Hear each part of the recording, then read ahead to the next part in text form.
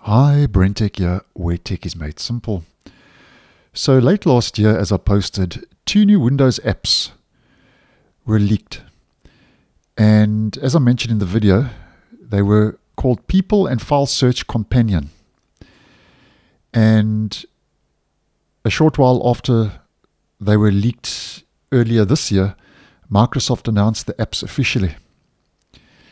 Now, just to let you know that according to the Microsoft 365 roadmap, these Microsoft 365 companion apps are expected to roll out sometime in the coming weeks. With Microsoft saying that the main purpose of the companion apps, which are your people, your search, and your calendar companion apps, the main purpose of the companion apps, Microsoft says, is to keep users focused on completing tasks quickly and effectively. Microsoft says that the People app, here to the left hand side, sits on the taskbar of the operating system and allows you to access profile cards and organizational charts with just a few clicks. You'll also be able to send messages or search for people. Then we get to the file search here in the middle and as the name suggests, helps you find and share files faster. And according to Microsoft, it supports finding files without specifying a file name and previewing files before they are shared.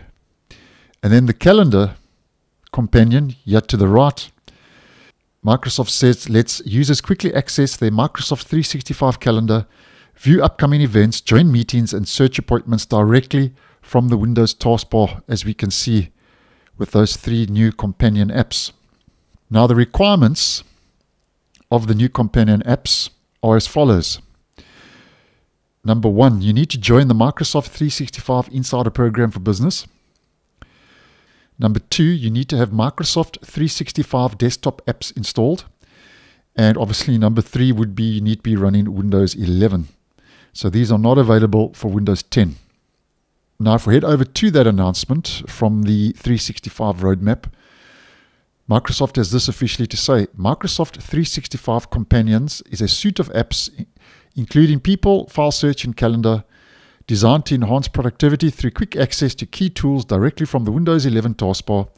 These lightweight apps integrate seamlessly with Microsoft 365, allowing users to efficiently look up contacts and navigate organization charts, locate files, view calendars, and streamline workflows without distractions. Now, Microsoft has confirmed that these apps will install automatically on supported systems, and administrators may opt out to prevent the installations.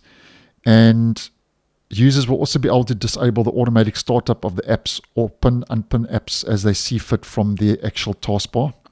So I think at the end of the day, these new companions are going to be more targeted for businesses and enterprises.